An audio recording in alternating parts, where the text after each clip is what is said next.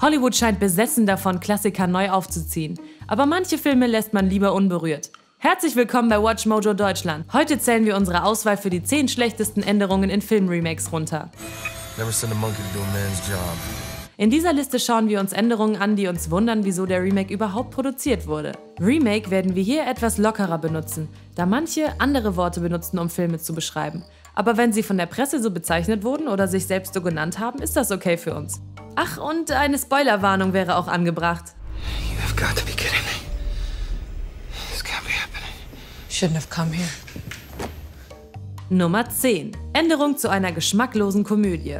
The Stepford Wives. Der originale Film 75 veröffentlicht, hat absoluten Kultstatus durch sein satirisches Konzept und seine Kombination von Science-Fiction und Horrorgenre erhalten. I like to watch women doing little domestic chores. Right town. Im Wesentlichen werden Hausfrauen durch Roboter ersetzt, die zufrieden alle häuslich anfallenden Arbeiten verrichten. Die Neuauflage macht daraus aber eine geschmacklose Komödie. That's like wanting to be gay with a bad haircut. Exactly. Das Original fungiert als Kommentar auf den männlichen Wunsch nach unterlegenen Frauen. Naja, okay. Was durch den Genretausch komplett verloren geht. Eine Frau wird sogar zum Hauptbösewicht. Where would people never notice a town full of robots? Nummer 9. Sein Aussehen verändern. Godzilla. Der originale Godzilla, der 54 veröffentlicht wurde, ist eine Metapher auf Atomwaffen, ein wichtiges Thema für Nachkriegsjapan. 水爆実験が続けて行われるとしたらあのゴジラの同類がまた世界のどこかへ現れてくるかもしれない。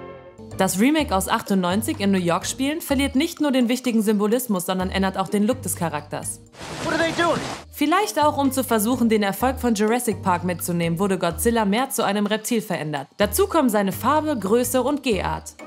You know what that means? No, but I got a feeling I'm about to find out. Die Änderungen sind schlecht angekommen, besonders in Japan, wo die Kreatur einen neuen Namen mit Jira und Zilla bekommen hat. Symbolisch hat Trista das Gott aus Godzilla genommen.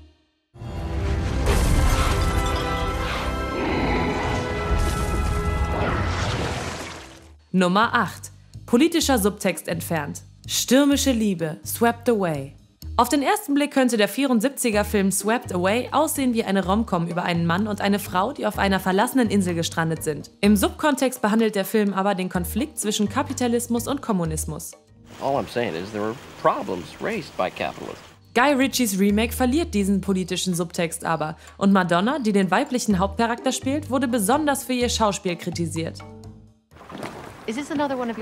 Alles, was bleibt, ist kitschiges Melodrama, das unglaubliche 5% bei Rotten Tomatoes bekommen hat. Nummer 7. Einen Actionfilm draus machen. Ben Hur. Wir hinterfragen nicht die Entscheidung, eine Neuauflage zu machen. Your situation is not unique, Juna. Neither are you. Na klar, der Film hat elf Academy Awards bekommen. Ein Rekord. Unter ihnen auch Best Picture. Aber das ist 50 Jahre her. Modernerer kann nicht schaden. But how do you control what's up here? How do you fight an idea? Especially a new idea. Was aber eine schreckliche Idee ist, ist den Film in einen kopflosen Actionfilm zu verwandeln. Viel zu viel CGI und ein Editing, das von vielen Kritikern kritisiert wurde. Obwohl der Film um 85 Millionen teurer war, hat die neue Version 50 Millionen weniger an den Abendkassen eingespielt. Das ist wirklich biblisch versaut. I heard him say, Father, forgive them. Nummer 6. Den Titel ignorieren. I Am Legend. Obwohl I Am Legend eine Verfilmung eines Buches des gleichen Namens ist, kann er auch als Remake von The Last Man on Earth und The Omega Man verstanden werden.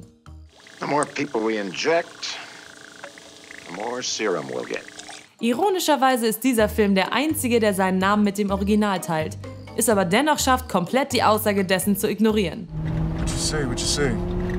In dem Buch und in den ersten zwei Adaptionen ist es nämlich so, dass der Hauptcharakter zu einer Legende unter den Infizierten geworden ist. Genauso wie diese Kreaturen früher Legenden unter Menschen waren. Well, the premise is der moderne Film ist zwar sowohl kritisch als auch kommerziell erfolgreich, ist aber eher ein normaler Zombie-Film ohne Verbindung zum Titel.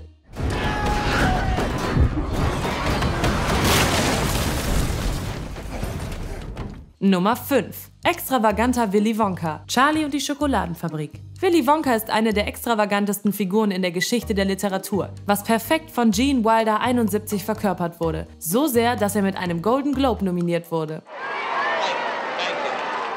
Johnny Depps spätere Darstellung des Inhabers der Wonka Candy Company wurde weniger gut wahrgenommen.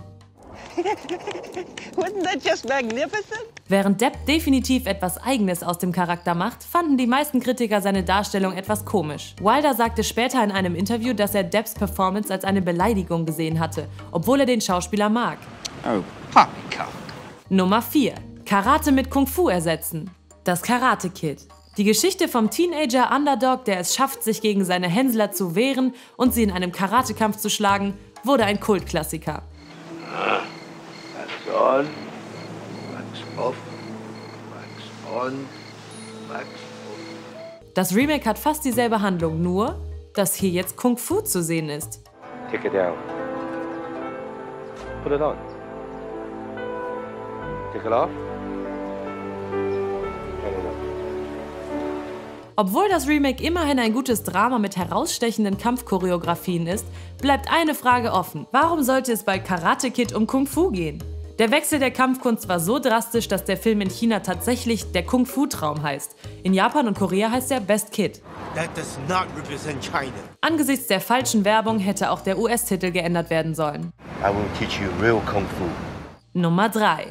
Ape Lincoln. Planet der Affen. Das Ende des originalen Planet der Affen, als Charlton Heston feststellt, dass der Affenplanet tatsächlich die Erde ist, ist eins der besten aller Zeiten. You blew it up! Oh, damn you! God damn you all to hell! Tim Burton wollte ein ganz besonderes eigenes Ende schreiben. Stattdessen gaben sie uns das schlechteste des frühen 21. Jahrhunderts. Take your stinking hands off me, you damn dirty human!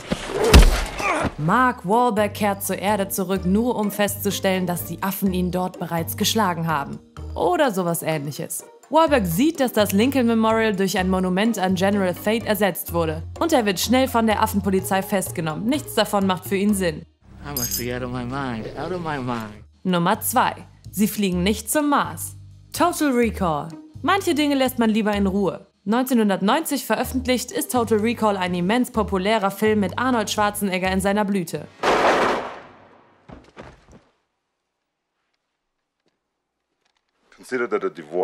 Also war die Entscheidung, den Film nur 22 Jahre später erneut zu machen, etwas überraschend. Noch überraschender war die Entscheidung, den Schauplatz von Mars auf Australien zu ändern, wohin die Charaktere durch einen Gravitationsaufzug durch die Erdmitte kommen. Wir verstehen, dass das Remake einen seriöseren Ton haben sollte. Aber einmal auf die andere Seite ist bei weitem nicht so cool wie eine Reise zum roten Planeten. Nur weil du etwas machen kannst, heißt das nicht, dass du es auch solltest. Ich war nie mehr einverstanden mit einer Nummer 1 als bei dieser Liste. Aber bevor wir dazu kommen, sind hier noch einige ehrenwerte Erwähnungen.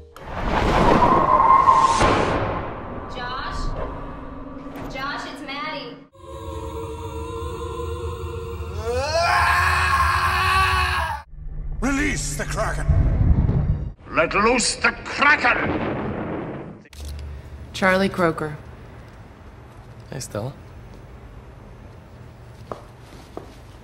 Didn't I tell you I never want to see you again? We are about to do a job in uh, Italy. It's a very difficult job. Once the wolves have finished with him, Belle will have no one to take care of her but me. For the sake of exhausting all of our options, do we maybe want to consider a slightly less gruesome alternative? LeFou, oh! don't move from that spot until Belle and her father come home. But, Nuts! My boo? Yvonne is not my, my boo. No. Are you Yvonne? Are you my boo? No, I'm no. not your boo. Et la motivation, elle peut pas signer pour vous, là Non, non, non, Magali n'a pas procuration. Noch nicht ganz fertig, fast aber. Bitte abonniert unseren Kanal und drückt auf die Glocke, um mitzukriegen, wenn wir das neueste Video veröffentlicht haben. Okay, zurück zum Eingemachten. Nummer 1. Guckloch Privatsphäre. Psycho. Alfred Hitchcocks Psycho ist einer der wichtigsten Filme aller Zeiten und war die Geburtsstunde des Slasher-Genres.